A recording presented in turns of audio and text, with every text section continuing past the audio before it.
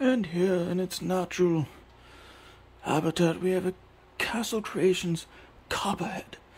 It has created its new life in a VS4-10 Phoenix. It's a great thing we're seeing more and more today. Nature. It's so great.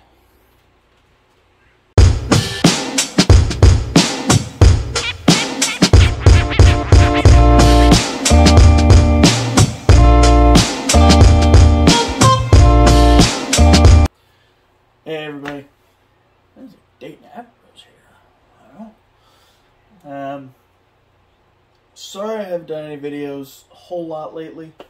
Um, things have been busy, most of all.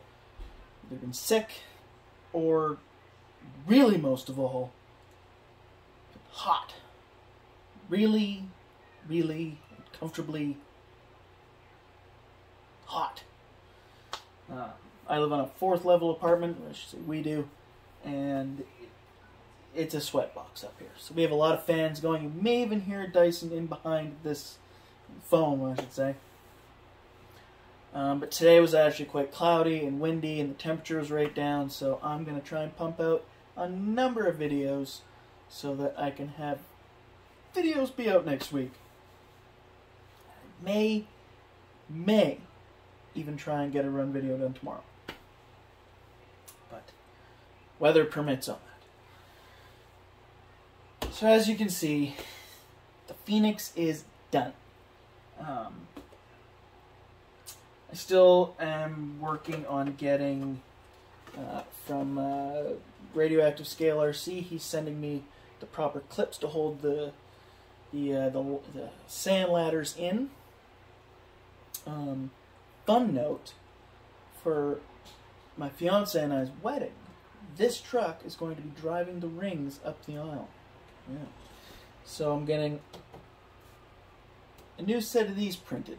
I will do a video on that when they get here. It might be a little while, but um, well, however long I don't know. But it's gonna be cool. So this is gonna be I'm gonna kind of do this up, a little special stuff on it. But that's for another video. This video is strictly just to show the Phoenix. So obviously we've got the Blind Guy RC sticker, we've got the uh, Vanquish Stickman Scale Builders Guild there, all the stickers along the side and along the side. They're all slightly different from side to side, so stickers on this side might not be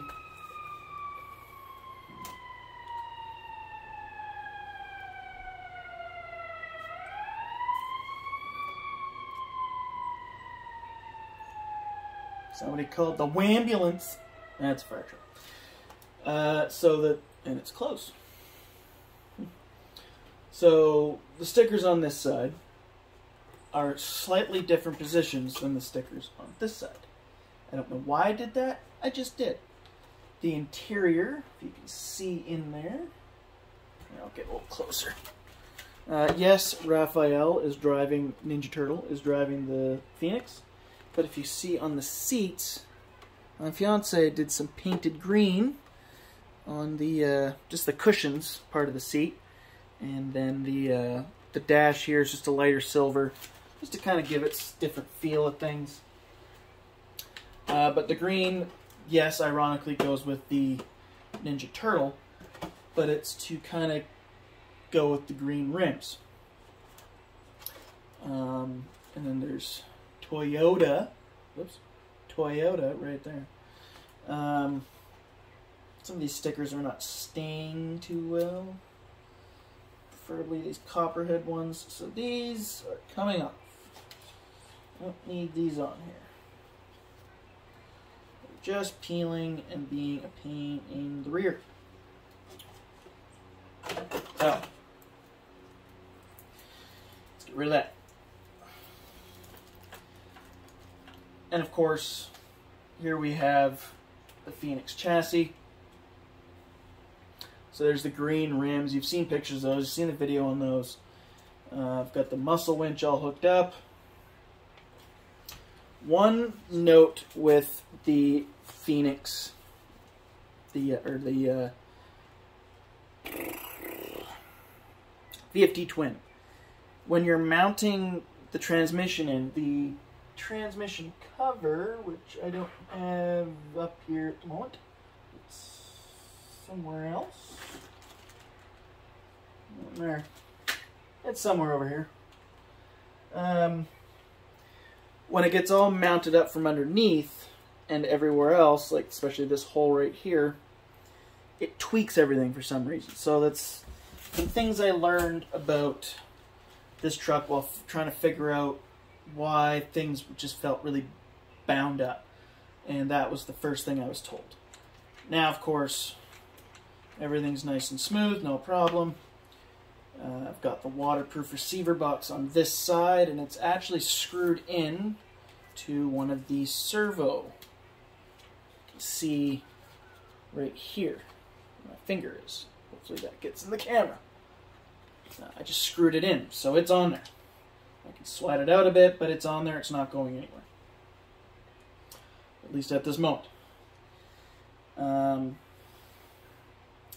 then on this side, obviously, everything's the same. But again, muscle winch, servo, just a normal 30, 30 kilogram servo.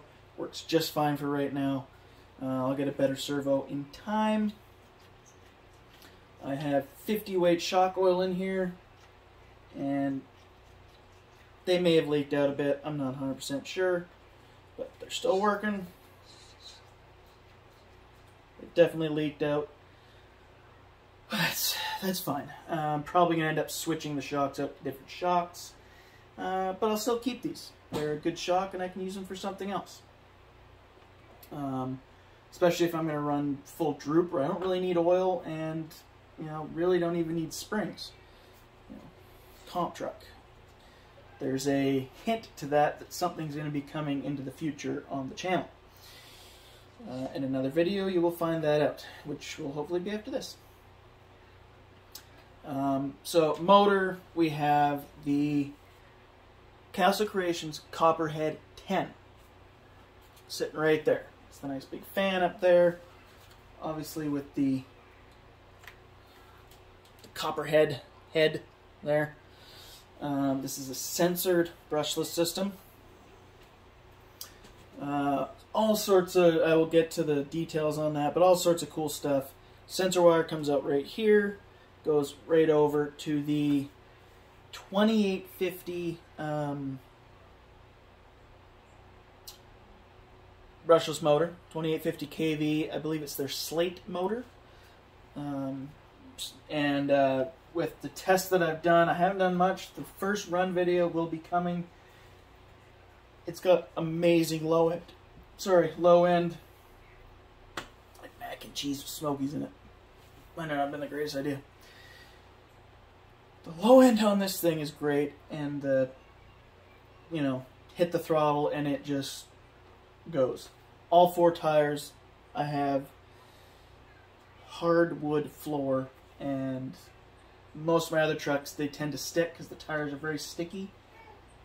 Peeled the tires. And luckily none of the beads came off. Um, but yeah so there is the phoenix in its glory. Um, and of course the castle creations 1406 28 kV sensored motor. And so it's the 14 series. It's waterproof.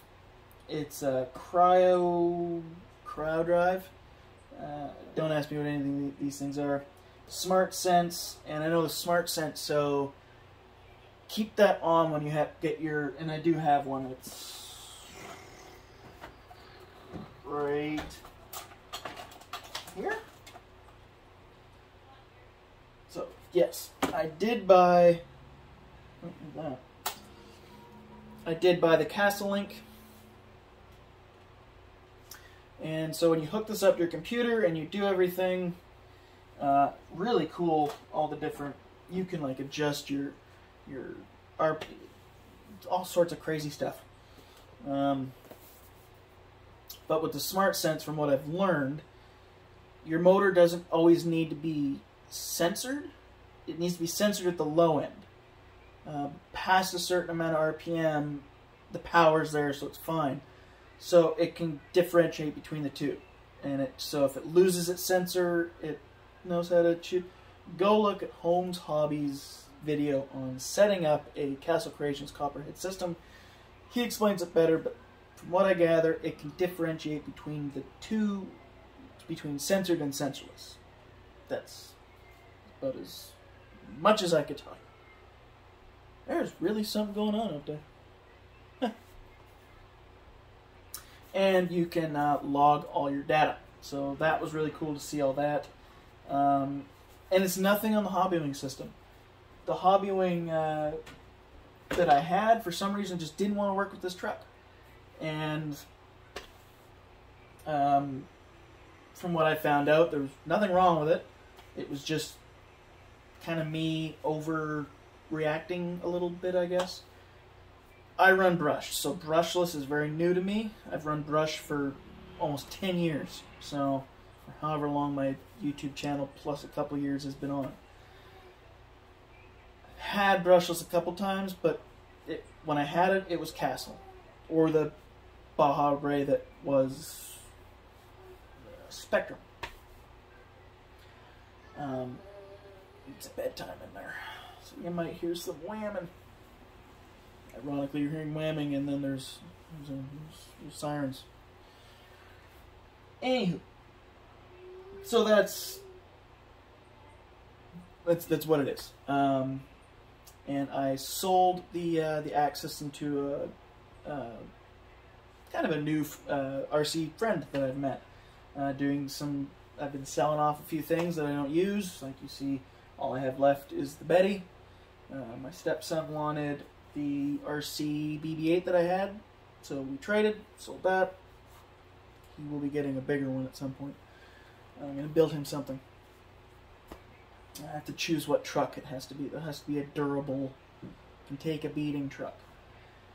But anyway, I sold him the axe system and tires. If you notice, the Origin half cab has some different tires on it. Uh, different video. But, uh, so the axe has gone to a, a new home. And that system was extremely powerful and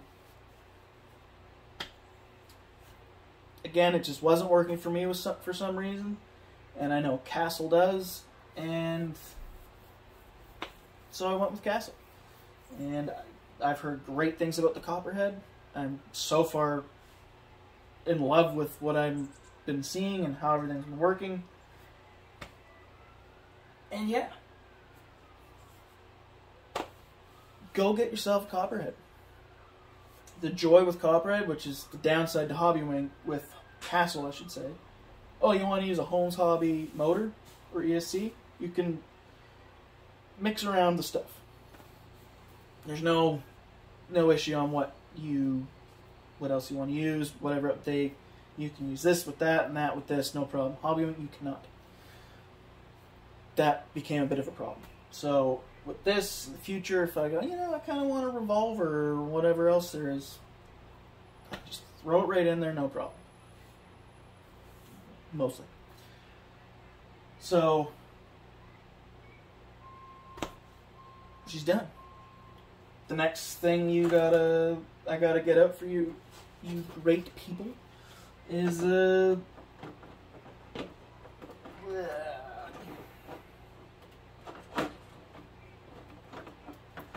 What is this going on?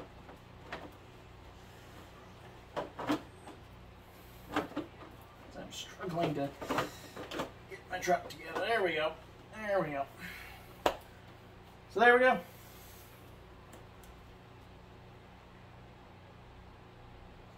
Phoenix.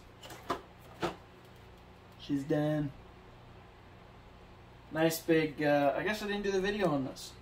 The tires here, I'll get a close up for you. Tires, 4.75 Pitbull Rock Beast. Um, again, sold the smaller Rock Beast I had on the Origin. uh, but love the Rock Beast. But I need 4.75 tires. If I'm going class one, I will use 4.19. But if I'm not class oneing anything, I need 4.75. That's just the way it has to be. Um, but yes, very sticky tires. Um, like I said, with the smaller ones, last winter with all the snow, they stuck. There was no problem. The truck just went. The when I had the purple body on the origin, it just went through everything. It had no problems.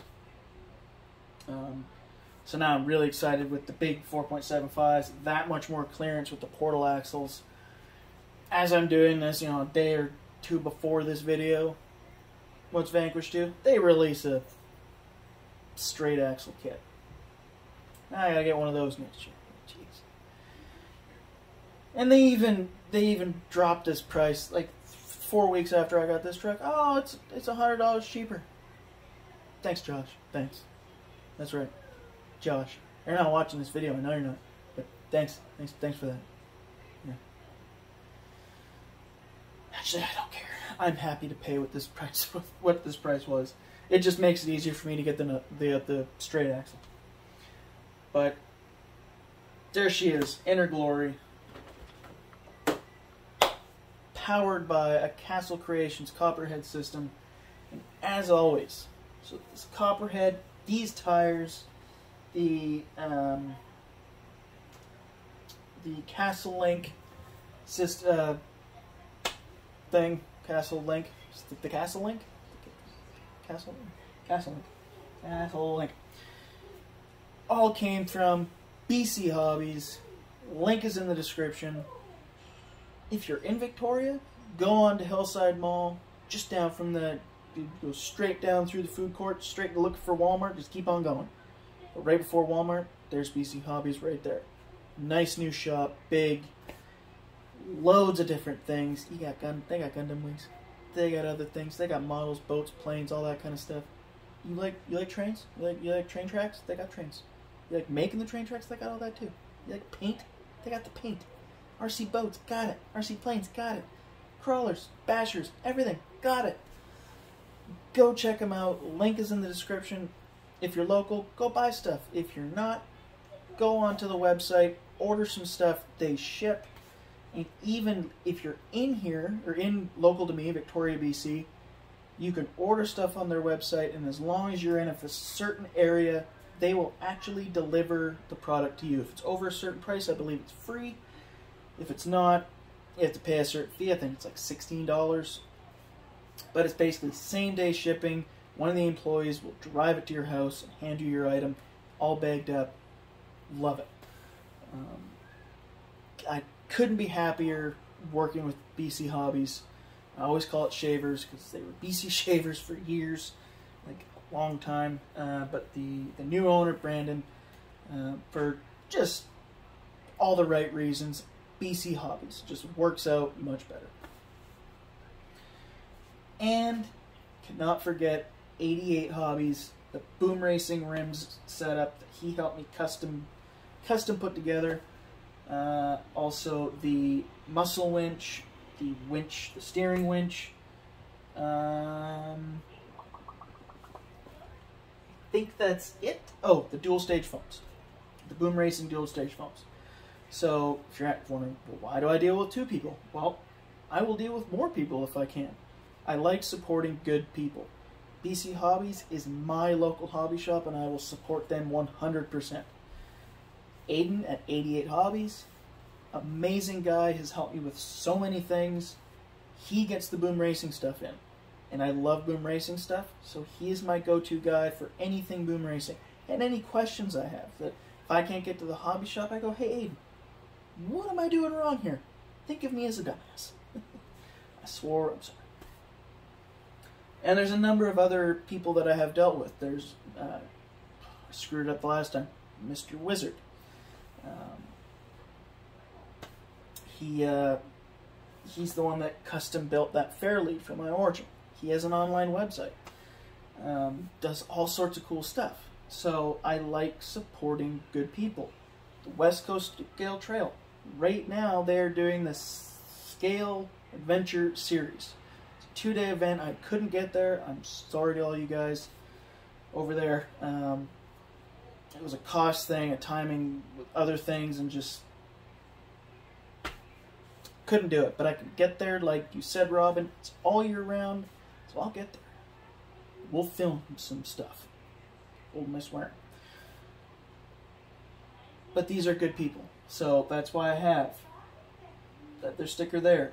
You know, even uh, uh, I believe yeah, Extreme Hobbies. I've never done business with Extreme Hobbies, but I know what they've done with this place, the West Coast Scale Trail, and I have no problem supporting people that help people do great things. So that is why I use a few different kinds of people, but BC Hobbies is my local hobby shop that I 100%, you know, so same with the other things, push. Um, love you guys down there. love everybody that I work with. Um, kind of rambled on there. But all that aside, hey, go check out 88 Hobbies. Link is in the description. But check out both. Go to all the links in my description. Just just go to all. How about that? I kind of trailed off here. This video is meant to really well, it's actually for both. So. Because of who helped or what came across building in this truck, go to BC Hobbies. Link in the description. Go to 88 Hobby, R, 88 RC Hobbies. God, I'm bad tonight. Check his stuff out. Facebook uh, page. You need boom racing. He's got it. And like I said with BC Hobbies, you want Lego, they got the Lego. So go check it out. Great people doing great stuff. And thank you to Brandon and everyone at BC Hobbies for all the help you've been giving me. Thank you, Aiden, for all the help that you give me. Thank you, uh, Dirk, at uh, Radioactive Scale RC. All these scale bits and pieces, sending me the bits to finish this because I broke one. Is what it is. Good people. So, thank you.